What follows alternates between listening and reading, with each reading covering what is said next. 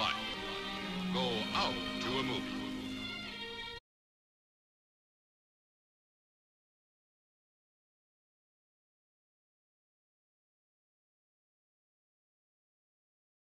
No one knows where it came from. No one will survive. A new masterpiece in fantasy terror.